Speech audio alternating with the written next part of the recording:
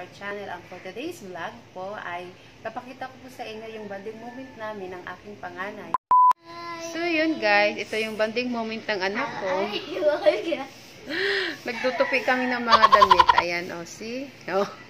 Guys, let's fold the clothes. O, diba? We're almost done. o, diba? Yan.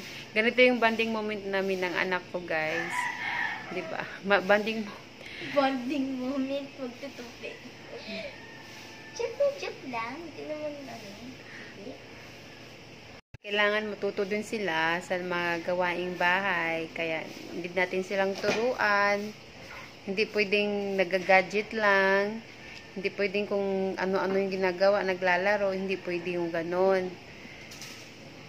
Diba? Diba? Opo. Mm.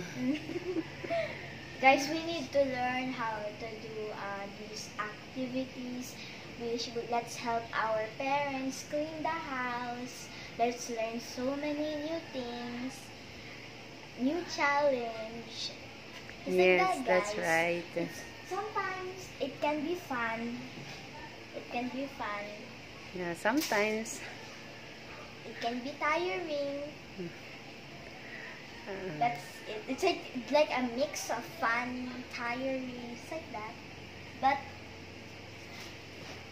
but after we clean, we help. We can. That's the time we can play or use our electronics, right, guys?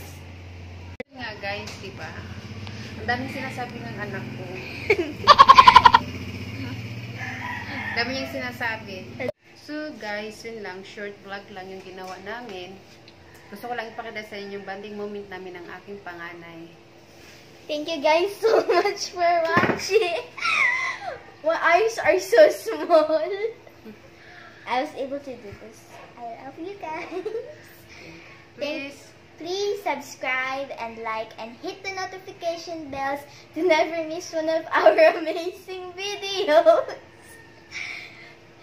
Guys so much for watching. I love you all so much.